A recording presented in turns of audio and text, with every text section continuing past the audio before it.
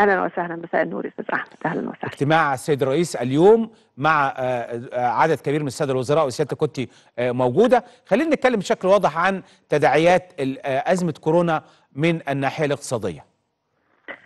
آه طيب أزمة كورونا زي ما حضرتك عارف والسادة المشاهدين عارفين آه هذه الأزمة هي أزمة غير مسبوقة آه عالميا. هي يعني العالم كله مر بأزمات آه، آه، أدت إلى آه، حالة من الكساد والركود زي آه، لو نتذكر في الوقت القريب آه، 2008 كانت أزمة آه، الأزمة المالية العالمية آه، وكان طبعا قبليها ازمه الكساد الكبير اللي كانت في 1929 مم. آه، الأزمة دي يمكن مم. آه، ليه؟ لأن هي يعني تداعياتها كبيرة جدا هي ما ما بتأثرش على قطاع واحد يعني يمكن لما الأزمة بتيجي آه، بت بت يعني تمس قطاع معين سهل جدا إنه حضرتك هذا القطاع تسانده فيقدر ان هو آه، بعد فترة قليلة يقدر ان هو آه، يعني يتعافى ويتحرك. الأزمة دي جت أثرت بشكل كبير جدا في جانب العرض اللي هو كل القطاعات الإنتاجية لأنها جت أثرت على قطاع الصحة فعملت يعني وقف عجلة الإنتاج على مستوى آه، آه، دول بدأت في الصين اللي هي آه، دولة تقريبا 20% من الاقتصاد العالمي وحركة التجارة العالمية مم. ثم انتشرت منها إلى أمريكا وأوروبا وكل دول العالم مم.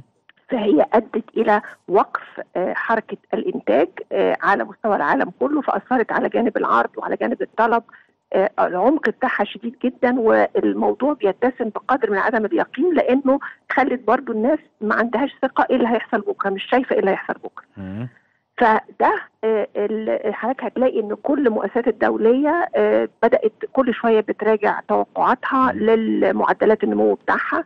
بحيث إن هي بتخفض معدلات النمو بتاعتها من 2 ل 2.5% آه، بتتكلم على آه، خسارة في عدد الوظائف. آه، آه، يعني ب 50 مليون على مستوى العالم بتقدر آه، بهذا الحجم. لحد دلوقتي كان- 50 مليون.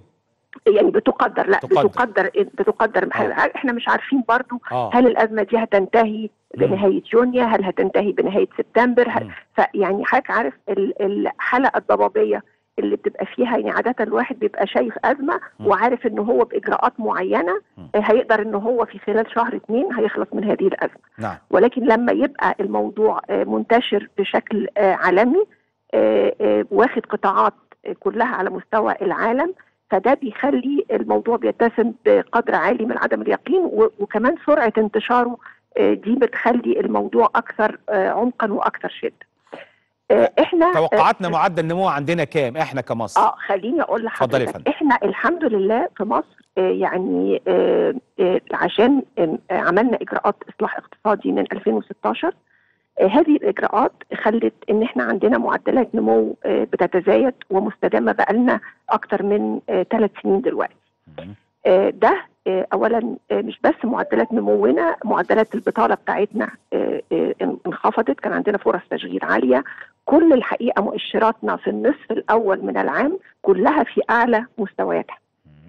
آه، ده كل ده مدينا يعني حيز آه، ومساحة إن إحنا نقدر آه، يعني ما كناش هنقدر نعمل كل الإجراءات دي لو إحنا النهارده ما كناش مرينا بمرحلة إصلاح اقتصادي يبقى عندي مساحة من الوفر في الموارد إن أنا أقدر أتحرك بيها. آه، إحنا الحمد لله محققين خمسة وستة من عشرة معدل نمو في الربع الأول. وخمسة وستة من عشرة معدل نمو في الربع الثاني. إحنا الاقتصاد بيتعرض نتيجة توقف حركة السياحة والطيران الجوي آه، تقريبا من 8 مارس فإحنا الربع الثالث بيبقى فيه يعني نوع من يعني بنقول دايما بنعرضه لنوع من الضغوط كده للربع ده. ففي تقريبا انخفاض فيه في حدود 25% فإحنا بنتوقع إن إحنا الربع الثالث نبقى في حدود آه، 4.5% مم. في الربع آه، الثالث بإذن الله. آه، آه، ده آه، الربع الأخير من السنة آه، ده بيتوقف طبعا على آه، آه، عمق الأزمة واستمرارها آه، إحنا كنا بنتكلم إن إحنا آه، يعني طبعا نتيجة تداعيات قطاع السياحة إحنا ممكن إن إحنا في الربع الأخير يا نحقق 2% آه، لو الأمور آه، يعني بدأت تتحسن أو إن 2% إحنا آه في الربع الأخير. آه، أو إن إحنا ممكن آه، إن إحنا ننخفض في أسوأ الظروف إلى آه، واحد في المية لو ال- العملية آه، استمرت بشكل آه، أكثر آه، حدة آه، المشكلة الأزمة دي إن حضرتك آه، مرتبطة بالعالم الخارجي هي. في عوامل كتير جدا حركة التجارة. الواردات اللي بتجيلك من الخارج.